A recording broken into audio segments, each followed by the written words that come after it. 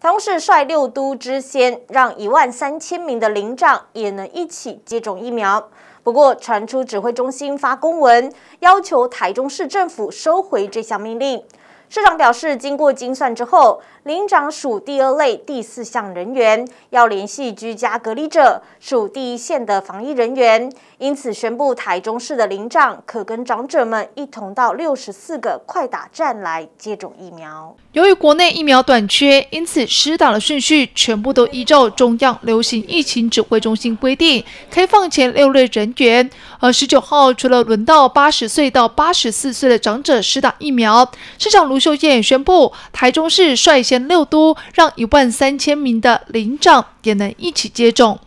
因为我们这些领长呢，都符合第二类第四项，实际执行居家检疫、居家隔离啊。那同时的这个关怀服务工作，可可能接触前呃这个接触呃前开对象的第一线人员，他们是属于第一线的防疫人员哈。所以我要在这边宣布哈，我们要开放领长打疫苗。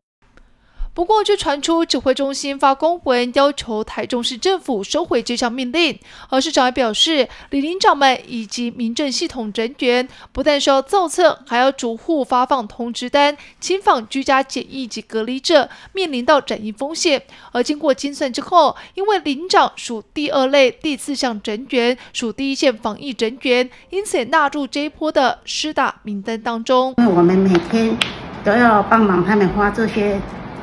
打疫苗的单子，啊，跟很多民众接触，